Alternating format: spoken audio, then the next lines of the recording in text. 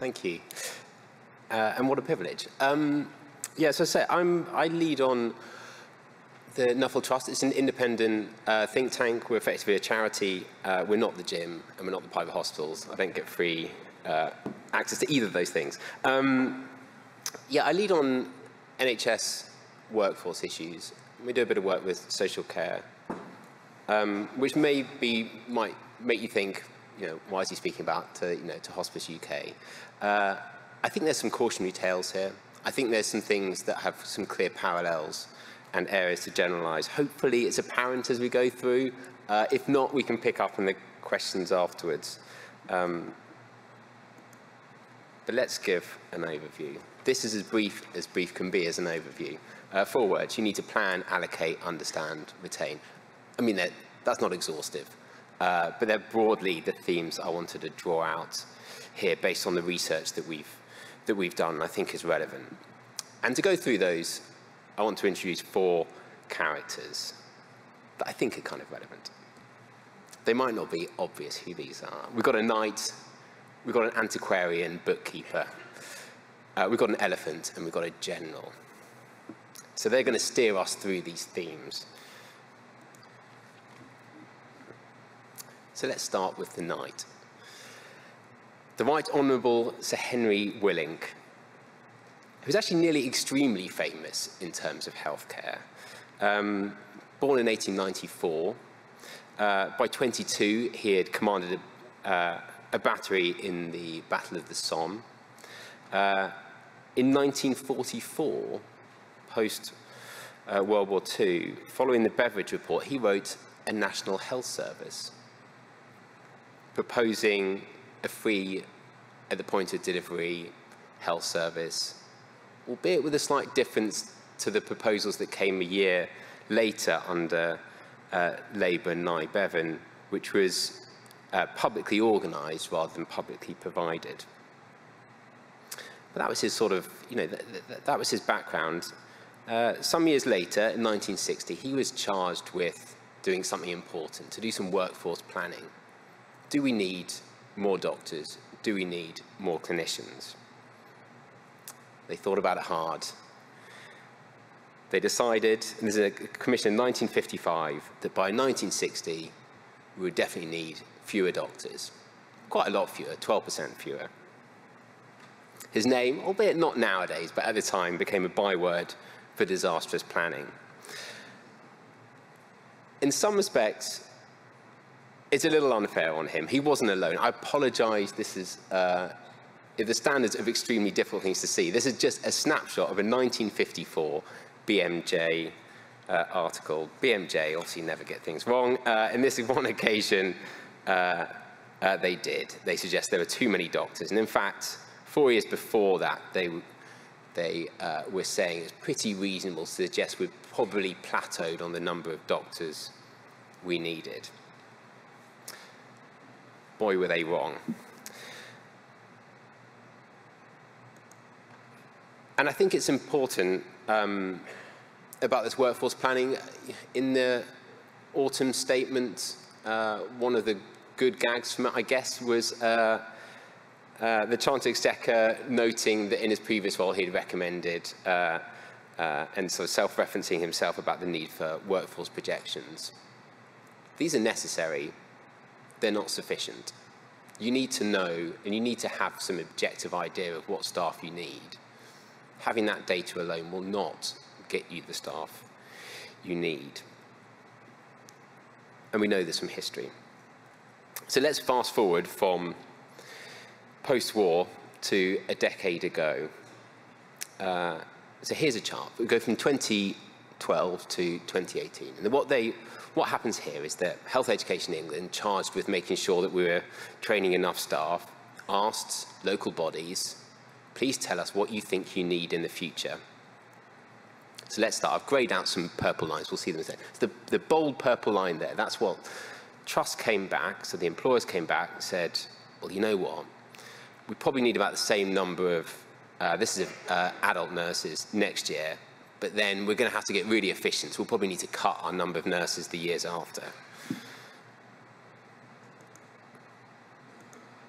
Following year, sort of slightly uh, uh, less bold purple. Um, they sort of realized actually we needed more last year than we thought. So we'll start our projections there. And actually maybe next year we got it wrong. We need, we need more, we mean more nurses next year. So this is in 2013. They're saying 2014, yeah, more nurses. But then we're suddenly going to get efficient and we're going to start cutting the number of nurses we need. They're nothing if not consistent, I guess, this is workforce planning. Uh, 2014, they asked the same question. Oh, you know what? We got that wrong. I mean, they got it wrong by a lot, right? They were, they were off by like 10,000 nurses within a year. I mean, that's, that's substantial. We're going to need more next year, but, but then we're going to plateau. Of course, that wasn't the need. There was, you know, the actual demand, the green bar went up, and actually, if you continue, it sort of carries on a reasonably similar trajectory, way off the scale of this chart. There's reasons for these underestimates they were linked at the time, workforce plans were linked to fairly unrealistic efficiency, so financial targets, which were never going to be achieved and were wholly optimistic. And as a result, they were trying to suppress the actual cost base of, of the services and therefore underestimated um, the number of staff. But there are other reasons why we get our workforce plans wrong the actual number of staff you need is not just about a sort of an sort of objective view of patient need, but also the cost of staff. And throughout the UK, we're even unclear really what staff are going to cost during this current year, given the pay disputes, let alone uh, in future years. Um, the number of staff can be trumped by manifesto commitments. Um, which will set a different uh, pressure on how many staff you'd need. It can be on unforeseen things uh, like views on safe staffing. The Mid Staffordshire uh, inquiry precipitated uh, some safe staffing, some advice, and a push towards uh, filling unfilled posts. That put a quarter of a billion pound cost pressure on the NHS to fill those posts. It's difficult to predict. Um, and it's also difficult, difficult to predict the supply of staff as well. Who would have known that over a couple of year periods, the US were going to start recruiting tens of thousands of nurses, English-speaking nurses, who otherwise uh, might have come to the UK uh, a, a decade or so ago. Some of that uncertainty, I guess, is uh, hospices uh, to a degree protected from. Um, they sort of probably less likely to be affected by top-down ministerial staffing targets, uh, but much of the uncertainty probably still applies. And even when they get projections, they don't always use them. In 2014, we had a Centre for Workforce Intelligence that was sort of embedded within, uh, within government uh, to advise on how many staff were needed. They said there was uh, likely to be a 30% undersupply of old age psychiatric consultants. The following year, the number of training places for that specialty remained unchanged. Not even by a single junior doctor did they change it. So it's difficult planning, but we have to realize the cost of having too few is not the same as cost of having too many staff. So you probably want to err on the side of, of caution and have too many. Are there any other tools and techniques to get workforce plans right? You know, most of this is a cautionary tale. There are some things that appear to make sense. A pre-mortem, let's assume you get your workforce plans wrong. Sit in a room, think, look in the future, let's say we've got them wrong. Why do we think that's happened? Really try to think about what are the factors that are likely to bias your predictions and try to think that through. And when you get them wrong, you have to rely on overseas uh, recruitment. Um, little game of higher or lower here. One in uh, five nurses uh, qualified from outside the UK. GPs, higher or lower? Higher. One in four GPs report a nationality, nationality other than British. Hospital doctors, higher or lower? Higher. One in three. Um, actually the NHS as a whole is not totally out of kilter with um, the economy at large. About one in seven across the NHS as a whole report a nationality other than British. It's about one in eight across the economy as a whole. But they're very much centred on some of these clinical professions uh, where there's a far higher proportion. Looking at nurses in particular, this is just, uh, you don't have to look too much in the detail, this is just showing the proportion of UK versus uh, non-UK trained uh, nurses joining the UK register uh, by year. And the orange and green bars is non-UK. So you can see there's been a big increase. It was pretty much half of UK joiners uh, last year. In fact, it accounted for 90% of the net increase. Well, overseas nurses account for 90% of the net increase of nurses.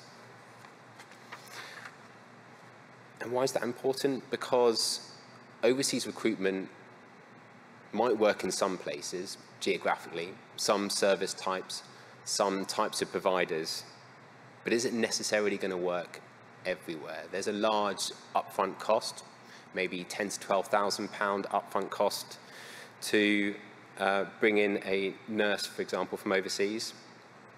But that might be difficult if you're uh, a smaller organization and don't have the sort of the existing infrastructure and resources to do that. Um, I know, Toby, you wrote a recent sort of opinion uh, piece, and uh, the ICS has appeared 24 times in it, and I think a key litmus test here is to what extent, in England, this is specifically, but of course there's analogous sort of organisation, sort of integration type uh, uh, bodies and structures in the other UK nations about, you know, the litmus test for ICS is can they get this right to work for all services in their, in their local areas and regions? Because we can't just assume that it will happen. Um, and to a large extent, we need some of these overseas recruitments in the short term.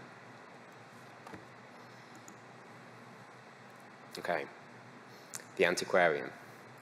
Uh, this is close to home to me, this one. Uh, John Anthony Westwood. Anyone, anyone know who this, might, who this is? You might recognize him. There he is. Full name, John Anthony Portsmouth Football Club, Westwood. 60, so he's from, yeah, Portsmouth Football Club, uh, which is where I grew up. Um, 60 Pompey-related tattoos. Uh, the, club, the club crest shaved onto his head, PFC engraved on his teeth. He's, I mean, he's a proper fan. Um, and uh, he's quite famous because he has a he has a loud bell and he he rings it throughout the whole match, which is quite a, I think quite a sort of impressive sporting feat to actually be able to hold that bell that time. Um, at Portsmouth's peak, sadly some time ago, 2008, FA Cup winners playing in Europe, they decided the thing to do here was to move, to move John Anthony, uh, Portsmouth Football Club Westwood, to his own stand. He moved them away from the, from the home end, where he was the heartbeat of the 12th man at Fratton Park. Moved them to a sort of little corner of the stadium with his own, and they sort of thought that was a nice sort of ceremonial thing but they allocated the staff and the people to the wrong place. Portsmouth fortunes took a turn for the worse, and they found themselves in the division down soon thereafter. I know association doesn't mean causation. Was it really because of him? But let's, let's roll with this. Are you, putting your, are you putting the people in the right place to get the right results? Again, let's look at history you can't change your model of care and you won't be efficient unless you put your workforce in the right place. A good example here is the efforts to move staff care outside of hospitals. The 2006 uh, government document, uh, Our Health, Our Care, Our Say, uh, made the, set out the ambition, it wasn't entirely new, but certainly was repeated a lot thereafter, to shift a significant proportion of care outside hospitals. What do they do thereafter? Uh, numbers of hospital consultants increased by a third over eight years. So this time period went from 2006 to 2014. Number of GPs plateaued. I mean, number of GPs pretty much always plateaus nowadays.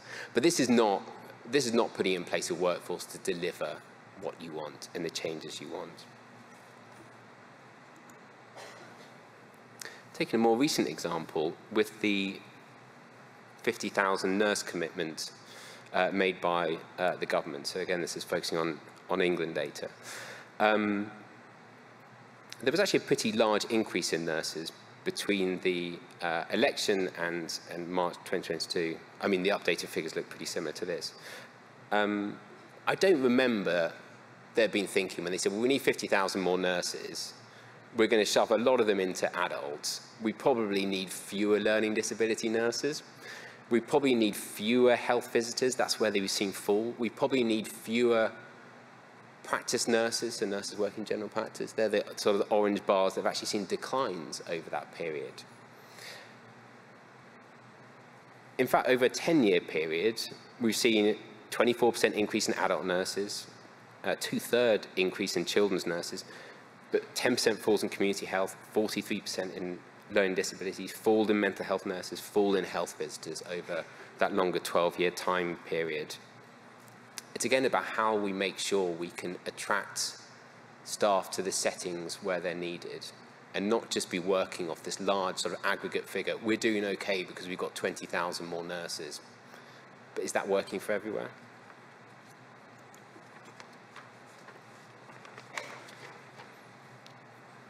Another quiz question. Um, okay, we've got four lines here, tracking from uh, 2013 to currently. They are, in no particular order, uh, two relating to social care, care homes, and domiciliary care, two relating to the NHS, hospital and general practice. You've got to think through what the order is. And it's this. Might be surprised that. Uh, the giveaway is uh, the social care ones took a big hit uh, around the pandemic, and certainly mid-pandemic, things, vaccine policies didn't pan out too well there. Um, so you had, you had had a very large increase in domiciliary care uh, staff up to about 2020, and then a big decrease. Care homes plateaued. General practice, a massive increase. But again, a question, are we getting the right staff in here? Um, there's been a big push for a broader skill mix, which uh, makes a lot of sense, but do we know that general practice is able to onboard this huge influx of new staff types for them and to use them effectively and to make sure they're supported and have the opportunities uh, and training that they need? I mean, I haven't seen 27% more output in general practice, but I don't, I don't uh, I, I, wouldn't push against them saying that you know they feel like they're working flat out. So is there an allocation issue going on here? Are we putting the right staff in the right in the right areas?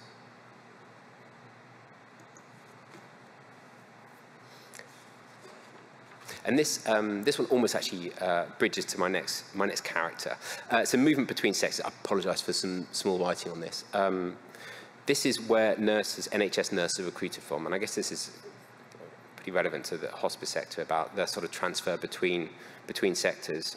It's a huge number going in and out between the NHS and the private sector. That's on the, the purple uh, section of that donut, um, which is about a quarter, over a fifth anyway. Um, and also a huge amount moving between the public sector as well, uh, 8%, that's sort of that. I'm not entirely sure what the colour is, sort of lightish, reddish colour uh, uh, towards the top. Um, and we have to be very conscious about staff moving between sectors and don't get involved in a zero-sum game uh, where we rob Peter to pay Paul. Uh, an example here is clinical pharmacists. Again, it makes a lot of sense to have a policy to move more clinical pharmacists into general practice. Um, they sought to have 4,500 more of them, but where do they where did they come from? You know, you were just taking them out of uh, existing community services out of the NHS, and it made some of those services less sustainable. So there just needs to be a better understanding of how people move between, um, between sectors. Okay, character three. I mean, in some respects, this is a, I'm, I'm a bit nervous about making a, anything even slightly related to wars in here. But, um, but hopefully, the fact this is Blackadder, hopefully that means I can get away with it. Um, so General Sir Anthony uh, Cecil Hogmanay Melchett. Uh, he's constantly trying to lift the morale of his men, rather lamely, with Charlie Chaplin films, putting on a drag act, uh, completely ignorant of their spirits, with no concept of his soldiers' well-being. And is shown to have little or no compassion. But what does motivate, attract, uh, retain and recruit staff? Do we have a good idea of what motivates the people who work in our services? Um, I went to an actually excellent uh, presentation earlier uh, this afternoon, um, and I think it's Paul Knott, uh, his name, talking about what really matters and really focusing on it. And he sort of mentioned if you're you know, in job adverts, focus on things like parental leave, pensions, that's what people look at. I think that's true. Um, I think some of the small things matter too, actually. I would push back a bit on that. And I certainly would, in terms of what people value, play to our understanding of behavioral psychology. People hate losing things. And we learned during COVID, some of the little perks helped. How people felt they were valued, they helped. It's not useful at all to take those away. You get like a double loss in that. Um, I think there's also a lesson here that valuing, people derive their value by looking at how they compare to others. It's sort of a relative assessment. And in the UK, it's tricky because we have huge pay differentials. Across 26 countries with comparable data, we're second only to Korea in our uh, disparity between nurse and senior doctor pay, and considerably above the average on that.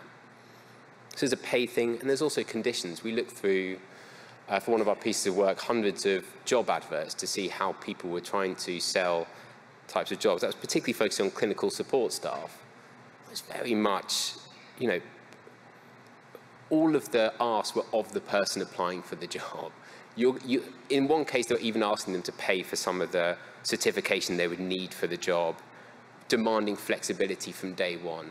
You, you compare that and contrast it to a typical NHS consultant uh, job advert where the entire opposite is, is true. They, they, they will sell it on the point of access to, uh, to training and flexibility from day one. And so I think on that valuing thing, I think we need to be very careful about, given the inevitable fact that we have these sort of multidisciplinary teams and different professions in it, that we are treating people fairly Um, again, sorry, if, sorry if it's a bit small, uh, particularly towards the back. Um, but I will, I will talk you through some of the, the numbers, so don't worry if you can't see them uh, particularly. Uh, this is data on why people leave their roles in the NHS. The biggest reason is unknown, um,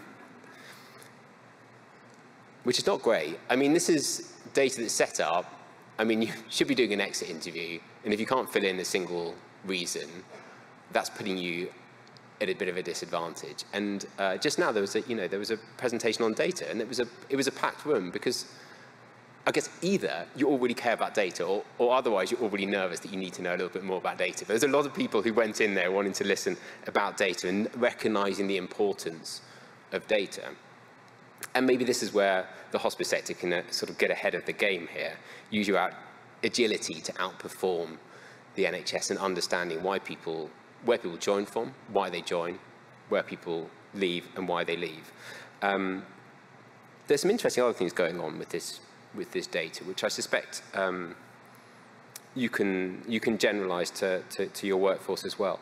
Work-life balance is pretty much the same as retirement uh, in the latest set of data. It used to be a quarter of retirement. Um, so it's a hugely more important issue. When you try to unpick what work-life balance is, there's some, I guess, some slightly sort of harder reasons behind that um, about people feeling exhausted under too much pressure.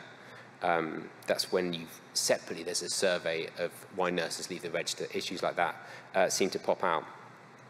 Uh, there's a purple bar in there, which is, um, sorry, not very well labeled, um, which is, I mean, fairly small in, in absolute numbers, which is, but it's health. and that's increased fourfold uh, in recent years as a, as a proportion of why people leave. And actually there was some interesting analysis published last, last month about the likelihood of uh, clinical support staff and of nurses leaving their job after, within a few months of having either uh, some absence due to physical illness or for mental uh, health reasons. Which is concerning. I mean, the only positive you can take from that is that it's clear how you would do an intervention. You know when someone's been off, so you know what the trigger point is to try to address that, to make sure that there isn't some preventable uh, attrition and retention issues going on. Um, feeling undervalued is one of the key reasons why people leave the nursing register. I think we should mentioned about how, you know, how, how do you go about valuing people. Uh, low staffing levels is another reason why people, that's when, ask, when you ask people why they're thinking of leaving, low staffing levels. If you haven't got enough staff, at least give people confidence that the cavalry is coming, that there is a plan to address it. Um, some of the other reasons about retention that we find in our research, um, feeling engaged with the organization, that appears to be pretty strongly associated with better retention issues. Um, social care. Um, I mean, it's even more limited, the information on social care leavers. Uh, but they did survey uh, different providers, 9,000 adult social care settings, and asked them what their top reasons for leaving, uh, for their staff leaving were.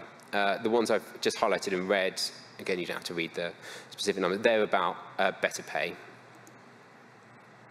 I mean, it's a different sector, social care. You can you expect different reasons to the NHS. Um, and the ones highlighted in green, they're about uh, working conditions both with, you know, they're leaving because of best conditions in other providers or outside of social care. Separately, the work we've done there, um, burnout stress is very important as a reason for leaving. Um, as I say, issues around pay and progression. Um, and there's some exploratory analysis which is really quite interesting, which points to this whole professionalization piece. And I know there was a talk earlier about how you offer people career progression, um, the use of things like advanced practice uh, in nursing and other professions, um, use of credentialing to give people some sort of career pathway. You know, I recognize it's early, well, it's, in some ways it's not early days on those, but it's a, it's, a, it's a developing area. There's question marks over the extent to which there needs to be some regulation on that. Currently, it's putting a lot of pressure and responsibility on providers and to what extent can nationally some of that responsibility be, uh, be taken up. Um, but just on that professionalisation piece, um, lack of a relevant social care qualification was pretty strongly related to people leaving um, the care service. Uh, less access to training, again, a key reason why people might, uh, might, believe, might leave. Um, actually, the second reason at the time why people left was uh, did not wish to be vaccinated. That speaks to the time when this survey was done, when they were bringing in the vaccination rules. Uh, one thing I would say on that is when we looked at the impact assessment on vaccinations, the numbers didn't even add up.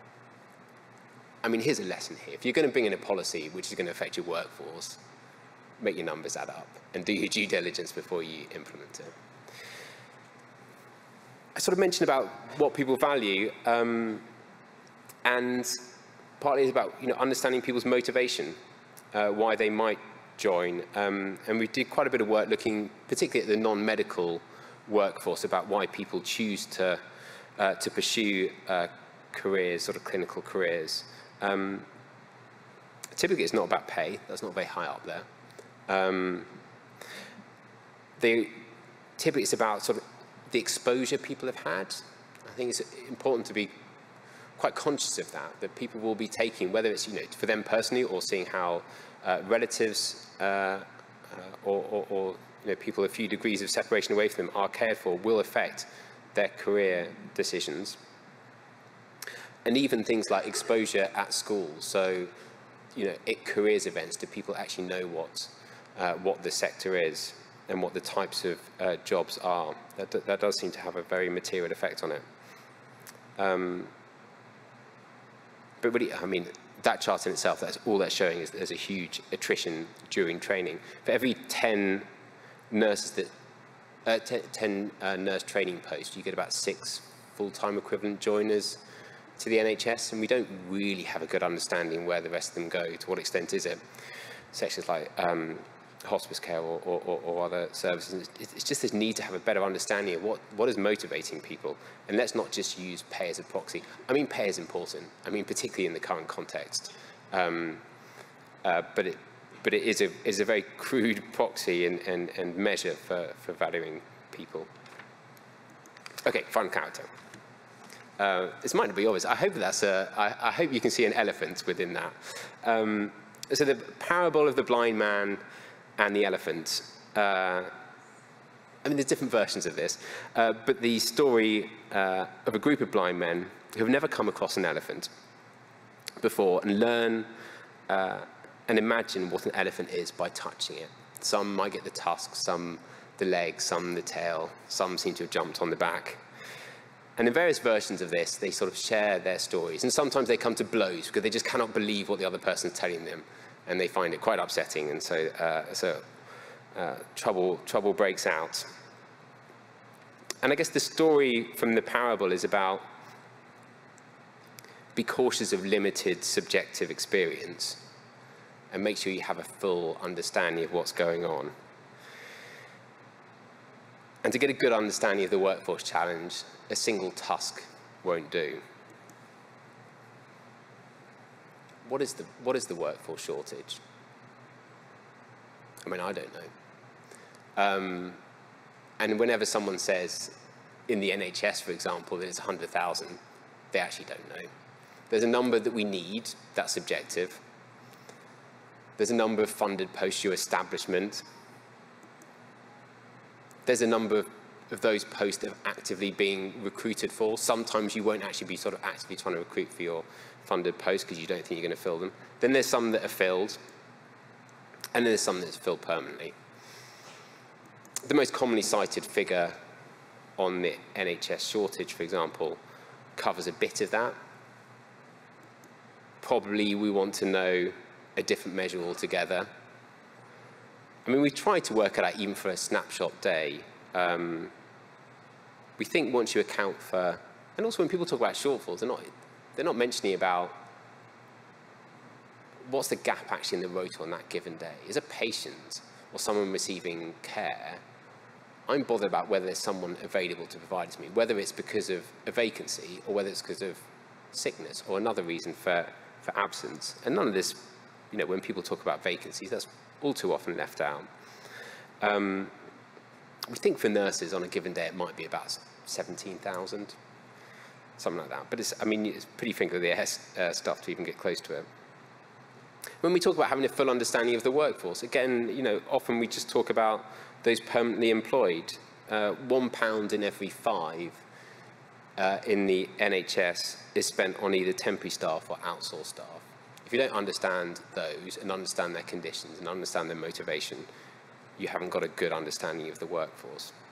And if you don't have a good understanding of the workforce, uh, you make mistakes. So here's a, here's a final cautionary tale to, uh, to end with. And this is using contractual changes. Uh, again, this is um, a little bit England focused, although some of these contracts uh, were used in the other nations as well.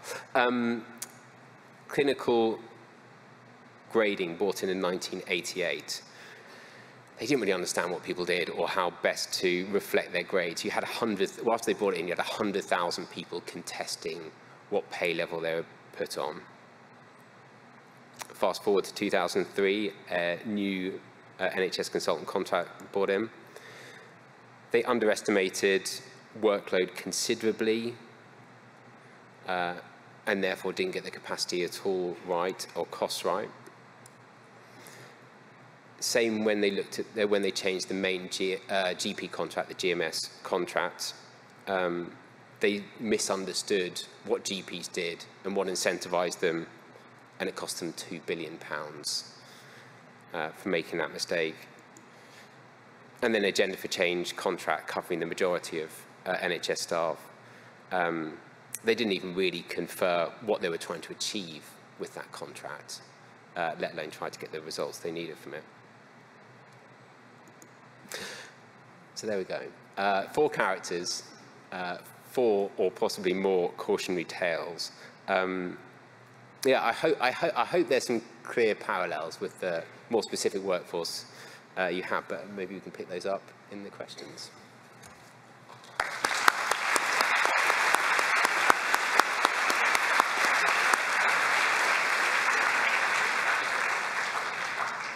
Thank you very much, Billy. I think, I think those cautionary tales will resonate very strongly and powerfully with, with many of the people in this, in this room. And as you say, um, uh, the relationship, uh, I think there is, there is a huge amount to learn from the challenges and pressures that are facing the NHS in isolation. Um, the hospice sector obviously has a symbiotic relationship with the, with the NHS. The flow of staff back and forth across the two different sectors is, is, is very significant. I'm going to come, come to a few questions, but, but just to kick off, I, um, I was struck particularly by your comment around, around the dangers of, of limited subjective experience to, to, as the basis for uh, making sort of decisions. And I wonder whether you think, whether you're optimistic about uh, the potential of, certainly within England, the new approach to integration, to, to system level planning, and whether you see that as a, as a potential uh, path to, to thinking about some of these more strategic workforce challenges that the sectors, that the system as a whole is facing. Am I optimistic? I mean, is this working? Um, I guess the question probably should be really to the audience. To what extent do you feel integration is working for you and your voice is being heard across all those different um, bodies. And if not, then it's, I mean, it's, we're not in a very optimistic scenario. I mean, every time we engage in these sort of integration style policies and speak to people who are trying to implement it, there's, a, there's an awful amount of goodwill and effort that goes into it. But I remain pretty concerned unless there's clear governance. Are we really aligning the funding the responsibilities and the accountabilities correctly. Because if not, when push comes to shove, you probably won't get the results you need. And I know, taking the England example about ICSs, it's still, they're still ironing those out to some extent. So I hope that that's taken seriously.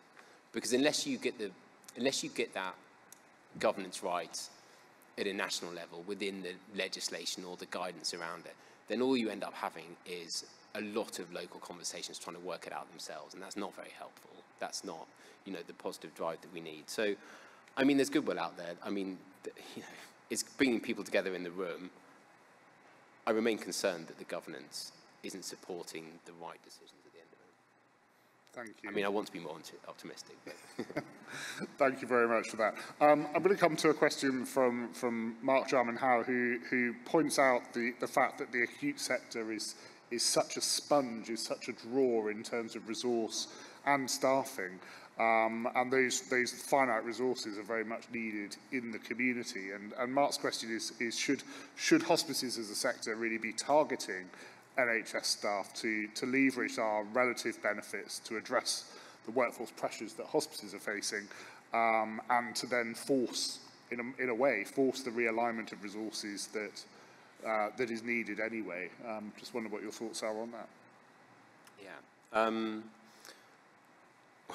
yeah, I, I, guess the characterization of them as a sponge. I mean, if you look at the numbers, they, that's where you've had these big increases in, in staff, and they're only going to be demanding more given the elective backlog, for example, which slightly pushes against the policy ambitions to move things out of hospital. So, I mean, what can you do here? You, you know, you have to compete, be more agile, and maybe help the NHS move forward, have a better understanding of why people are joining and where they join from, have a better understanding when people are leaving, um, why they're leaving, um, because the NHS doesn't have a great understanding of that. I mean, some local trusts certainly do, but that sort of national policy picture, they certainly don't, and, and, and others seem to be struggling. So, I mean, yeah, so, uh, you know, to some degree, there's a finite set of uh, resources. It is a bit of a zero-sum game at the moment.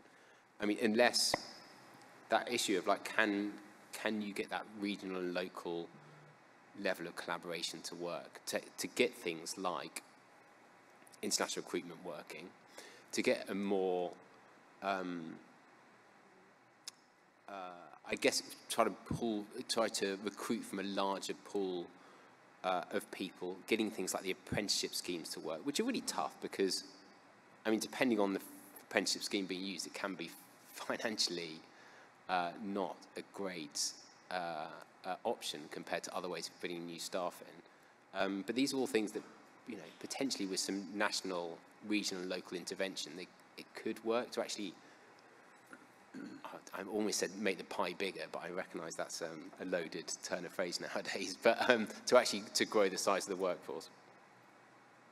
Thank you very much. We're going to come to a question from Sonia O'Leary, who asks whether the fact that so many people who apply to do their nurse training and don't get a place demonstrate that we don't have the right resources in place or indeed the right approach to, to training in order to equip our workforce for the future. Mm. Yeah, it's been, it's been pushed forward as an idea. There was, um, I think it was in the long, the NHS long-term plan. They sort of made this point that there's a lot of people applying who don't get a place. Therefore, if you just open up to more places.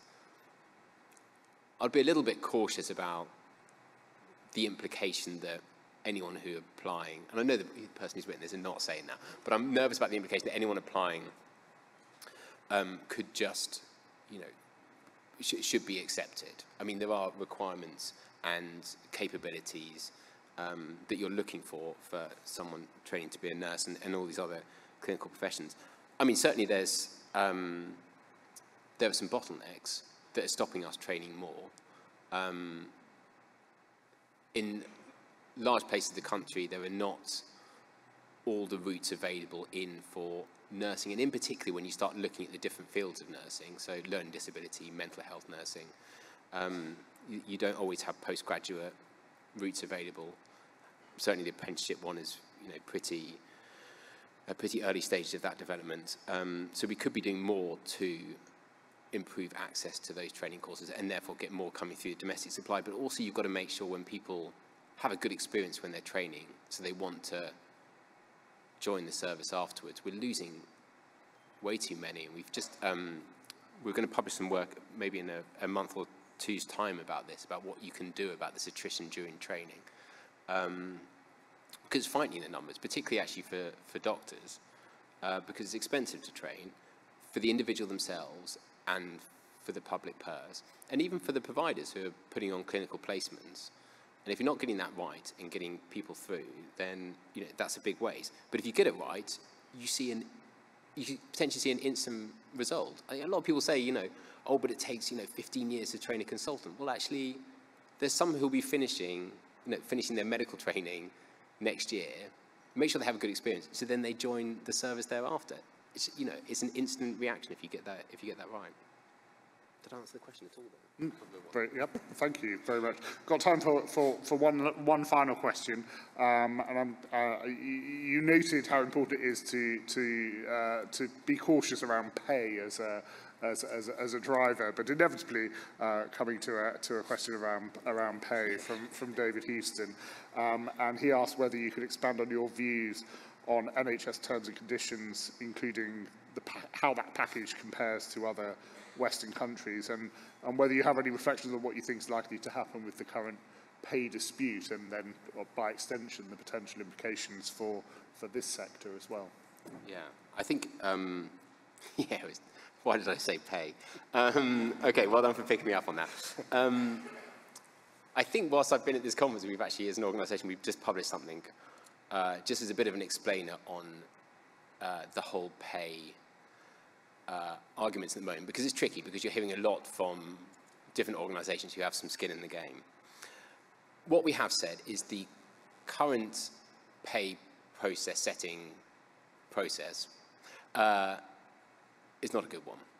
I mean, it's clear route for improvement. The fact that they are just passive recipients of evidence rather than actively commissioning research that will try to answer some of these questions about what is, you know, what, what will affect people's, what, what will affect re retention, recruitment.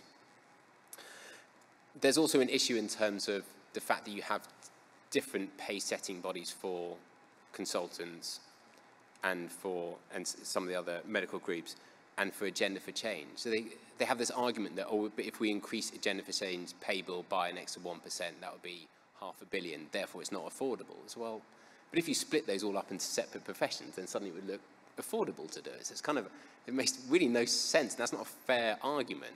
Um, so I think there's an, there's an issue about the, that process. I think when you,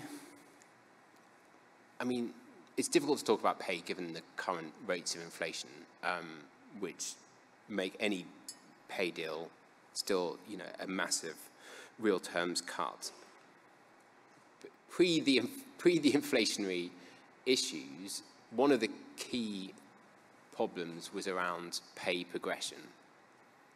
Um, so did some various, there's been various analysis around this, uh, looking at how uh, getting different clinical uh, uh professions affect your career earnings at you know one years, five years, ten years. And it's when you get that later stages, and suddenly nursing, for example, really falls behind. So there needs to be some better efforts to support progression. The current pay deal, I mean, they did the most. They they recognise that you've got lots of experienced nurses sitting at the top of their pay band.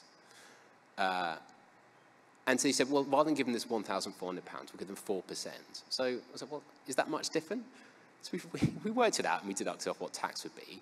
And so for those sitting at the top of band six, that's worth 43p a day. I mean, I mean, that doesn't even buy you a Mars bar. I mean, if they think that's really going to change the behaviors uh, of these very valuable, experienced clinicians, uh, then I just think they're mistaken. Um, so they need to think. They need to think a bit more uh, clearly about that progression and they need to think about. And I sort of said it before about the relative pay point. We're increasingly getting people to work in these multidisciplinary teams. We're having people share, um, you know, patient lists even, uh, and if you can't expect people to do that and be happy walking home when they know they're having to work a you know, a five-day week to earn as much as someone working one and a half days, which can, you know, can be some of the differentials you're getting between uh, different uh, clinical professions. So there's, so there's some real issues with, uh, with that. I mean, also you've got to make sure it's affordable. You've got to make sure it's affordable not only for the providers in the NHS, but there's also an implication for uh, all those employing similar staff or potentially, the, you know, what would be the same staff in in other sectors. I mean, it has a, a huge sort of cost implication. Um, and I'm not sure that's always thought through from the deliberations I see it now in that pay process. I think that's a, that's a point that will resonate very strongly with, with, with delegates in the room. So um, we are out of time for this session, but, but um, Billy, thank you so much for sharing your, your thoughts and your reflections. I think, um, as you say, some very significant cautionary tales for us as we navigate a path forward into this brave new world of, of, um, of uh, integration, collaboration, system level working, uh, which of course requires integration, collaboration, system level working and thinking in terms of workforce planning as well, which um, I think at this point has been in relative short, su short supply. But um, Billy, thank you so much. Can we, can we, thank you, thank you